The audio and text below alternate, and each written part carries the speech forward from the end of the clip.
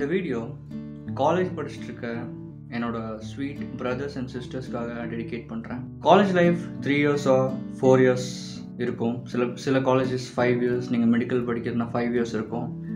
இந்த three R four இயர்ஸில் நம்ம என்ன பண்ணிகிட்ருக்கோம் நம்ம யோசித்து பார்க்கணும். நிறைய பேர் காலேஜ் போகிறதே ஃபுல்லாக என்ஜாய் பண்ணணும் நான் ஜாலியாக ஊரை சுற்றணும் அதெல்லாம் இருக்கணும் தான் பட் ஆனால் அந்த த்ரீ இயர்ஸ் ஃபோர் இயர்ஸில் நம்ம என்ன உருப்படியாக பண்ணுறோம் நம்ம அந்த த்ரீ இயர்ஸ் ஃபோர் இயர்ஸில் நம்ம பேரண்ட்ஸை பற்றி நினச்சி பார்த்துருக்கோமா? நம்ம படிச்சுட்டு இருக்க படிப்பு நம்ம பேரண்ட்ஸ் நமக்காக கொடுத்துருக்குறது. அவங்க அவ்வளோ கஷ்டப்பட்டு ஏர்ன் பண்ணி நமக்கு ஃபீஸ் கட்டியிருக்காங்க. என்னோடய லைஃப்பில் நான் சொல்லணுன்னா நான் பிஹெச்டி காலேஜில் படித்தேன் கோயம்புத்தூரில். டொனேஷன் ஒரு ஃபிஃப்டி தௌசண்டோ சிக்ஸ்டி தௌசண்ட் கட்டி தான் எங்கள் அம்மா சேர்த்து விட்டாங்க. அந்த த்ரீ இயர்ஸில் நான் ஃப்ராங்காக சொல்கிறேன் நான் யூஸ்ஃபுல்லாக ஒன்றுமே பண்ணது கிடையாது. இப்போது நான் காலேஜ் முடித்து இப்போ எனக்கு டுவெண்ட்டி நைன் இயர்ஸ் ஆச்சு seven years eight years completed அந்த காலேஜ் முடித்து நான் என்னோடய ஸ்கில்ஸை நான் ப்ராப்பராக நான் வளர்த்துக்கல. நான் யூஸ்ஃபுல்லாக பண்ண ஸ்கில்ஸ் ஏதாச்சும் கற்றுக்கிட்டேன் ஏதாச்சும் உருப்படியாக பண்ணேன் அப்படின்னு கேட்டால் எதுவுமே இல்லை. எக்ஸாம்ஸ் கூட நாளைக்கு செமஸ்டர்னால் இன்றைக்கி தான் உட்காந்து புக்கையே ஓப்பன் பண்ணுவோம். ஸோ நிறைய நிறையா கொஸ்டின்ஸ்க்கு நிறையா ஆன்சர்ஸ் என்ன எழுதுகிறோன்னே தெரியாமல் எழுதி எப்படியோ அரியர்ஸ்லாம் இல்லாமல் கம்ப்ளீட் பண்ணி வெளியே வந்தாச்சு. வெளியே வந்ததுக்கப்புறம் ஒரு நல்ல ஜாப் கிடைக்கல. அதுக்கப்புறம் நிறையா ஸ்ட்ரகிள்ஸ் அதுக்கப்புறம் நான் பிஜி பண்ணேன். பிஜிலையும் நான் பெருசாக இந்த ஸ்கில்ஸ் வளர்த்துக்கிட்டேன். அந்த ஸ்கில்ஸ் வளர்த்துன்னு நான் சொல்ல என்னோட அம்மா மோஸ்ட்டாக அவங்க கஷ்டப்பட்டு சம்பாதிக்கிறத சொல்ல மாட்டாங்க. ஸோ அதனாலேயே எனக்கு மோஸ்ட்டாக கஷ்டம் தெரியாமல் நான் வளர்ந்துட்டேன். ஜாலியாக லைஃப்பை லீட் பண்ணிட்டேன். பட் ஆனால் இப்போ எனக்குன்ட்டு ஒரு பையன் இருக்கான்.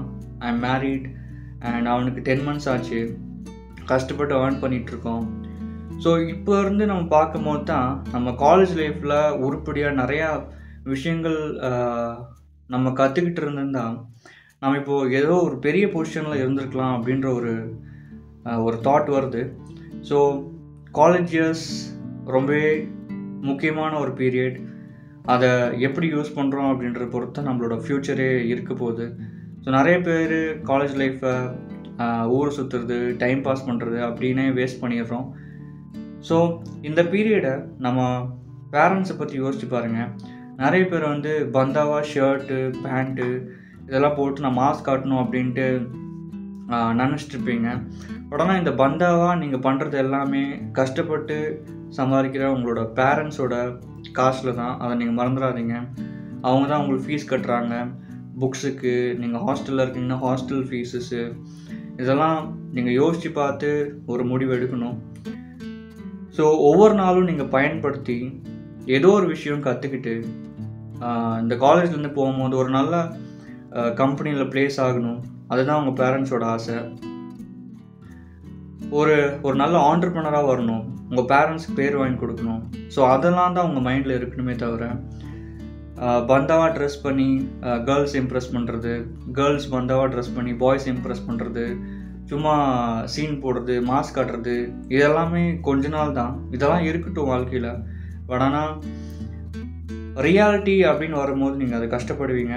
So I completed my college seven to eight years before so இப்போ இருந்து பார்க்கும்போது தான் அவங்க கஷ்டப்பட்டு நமக்கு ஃபீஸ் கட்டினது கேட்டதெல்லாம் வாங்கி கொடுத்தது எல்லாமே எனக்கு தோணுது. ஸோ நான் பண்ண தப்பு நிறைய பேர் பண்ணிகிட்ருக்காங்க அதை நீங்களும் பண்ணிடக்கூடாது அப்படின்ற இதுக்காக தான் இந்த வீடியோ நான் க்ரியேட் பண்ணுறேன் so think about it so அவங்களுக்கும் காசு ஈஸியாக வரதில்ல சில பேர் வந்து ரொம்ப ரிச் ஃபேமிலியிலேருந்து வருவாங்க. சில பேர் மிடில் கிளாஸ் இல்லைனா புவர் ஃபேமிலியிலேருந்து வருவாங்க.